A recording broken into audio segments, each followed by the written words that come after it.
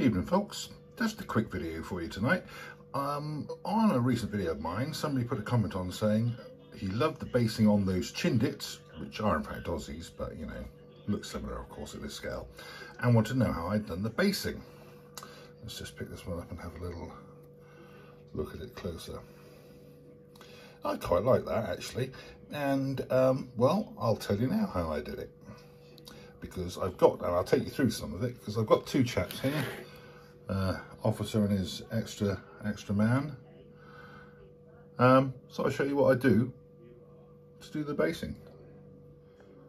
Now, many people when asked the same question would just say get some mixed herbs, like these, that you can get in the supermarket. What I did was probably a lot lazier. I just went on eBay and Googled, because I get a lot of my scenic stuff from eBay and Googled jungle basing. And what I found was a kit that I've put in here. Basically what came in the kit were two different grades in terms of how fine they are of like undergrowth or leaf scatter type stuff like the uh, jungle underfoot plus some green tufts and some plastic um, jungle leaf type things it was uh, it was change out of a tenner and um, well it's done me well really. I've gone through half of my Aussie army doing it. What I do is uh, mix up these two bags in the bottom of this here uh, thing. Paint um, paint the uh, bases an appropriate colour, a bit of PVA glue and dip them in that. And then sort of strategically place some bits like this and these green leaves and, and these tufts.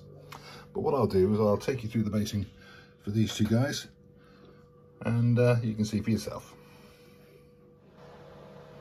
Okay, step one, painting the bases with Steel Legion Drab or some similar sort of beigey brown before applying the basing material. Yeah, that's step one. Step two, with um, the bases soundly doused in some PVA, I've got a mixture of the two sort of grades of granularity of these two bags of material I got in my jungle basing kit here in the um, here in the tub and I actually got a few of these plastic green leafy things and sort of chopped them up small. Uh, the big log bits came in part of that bag there. So what I'm going to do now is um, liberally coat the bottom of the bases with their PVA glue um, in, uh, in the base here see how they get on. And there we go with the uh, base applied. Just going to wait for that to dry and then I'll add some uh, tufts and bits and pieces. We'll come back shortly to see how that's turned out. And there you have it. Relatively simple. I hope uh, you found it useful.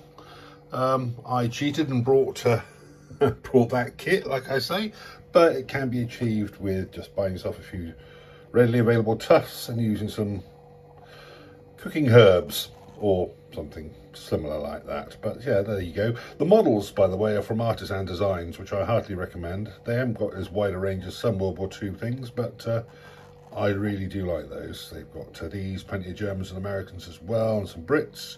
So go take a look. But yeah, there we go. That's how I do my jungle basing. I hope people who were interested found it useful. Thanks for watching.